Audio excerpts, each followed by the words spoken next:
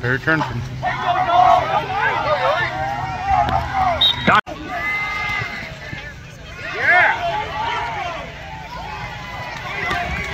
That's number six, Dante Carr, on the quarterback keeper for a touchdown for the Battlin' Miners. However, there's a penalty.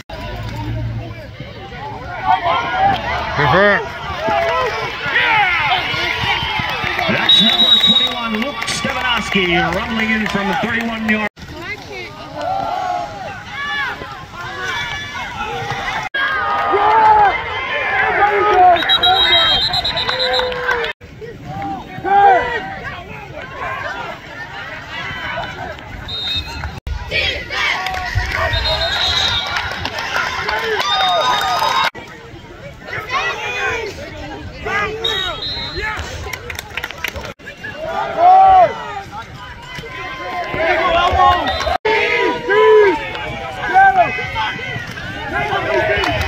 Number two.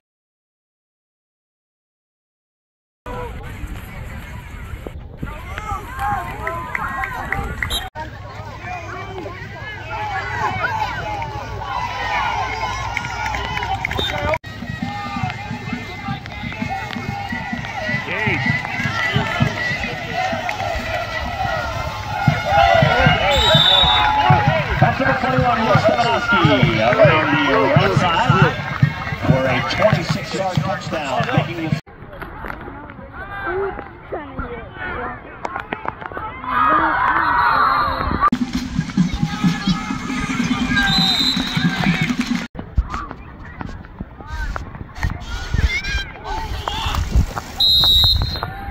That's number 21, Luke Stefanowski, in for the six-yard touchdown.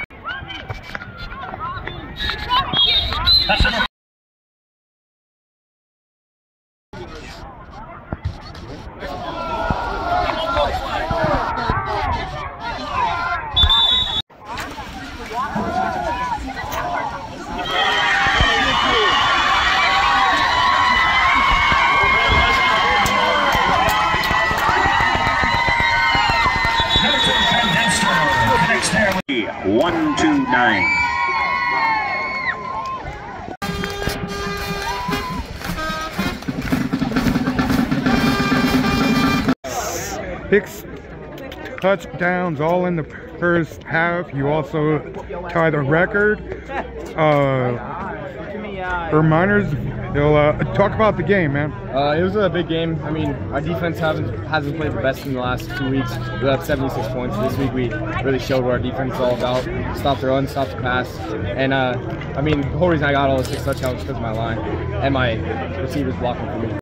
Uh, it feels it feels awesome. I mean, there's been a, a load of good running backs in Minersville in the past years, and tie the record, and that's just nothing better than that. Well- yeah, I- I got uh, yeah, it's be 11 in the last three games now, and uh, nothing better than that either. Yeah, we uh, you know, we wanted to come out. We, we felt like the past two weeks we didn't play real clean games.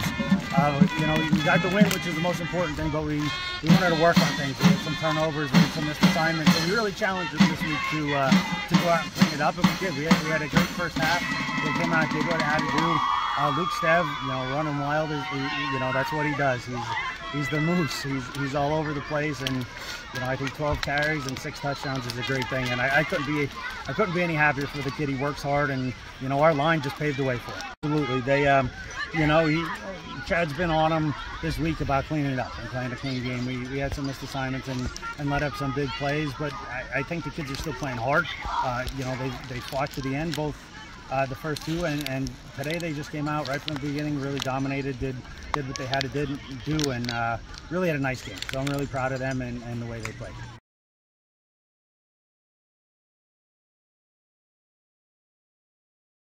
Yeah, I mean, was a great team. I, I know a lot of the kids on that team. Um, they're a great team. Coach Franz is one of the elite coaches in our in our county. Um, you know, they, they're a good team. Um, they're going to go. They should win the district. They should go pretty far in states too. Um, for us today, we just uh, didn't execute enough. We didn't wrap up when we went to tackle. Um, you know, there's things that we can get better on. You know, for our for our team, our goal was to be three and two halfway through the year. Um, these last two weeks, we had setbacks, um, but we can still reach that goal. So for us, you know, we're, we're aiming to, to play Panther Valley this week and, and have a good game, and then you know play another game against Hancock, and two games that we think we can be competitive and, and can win. So, you know, today didn't go our way, but you know, in football, you play the next play. So. Yeah. You know that's something that uh, we try and instill in our kids, and something we're going to try and do. Ben Dempster's had a great year so far. Um, you know, today the weather uh, created some challenges for us. Um, he was a little banged up, um, but uh, you know, he and Nick, you know, have connected a couple times this year. That, that's their seventh touchdown this year. Um, you know, it was great, great throw, great play by Nick.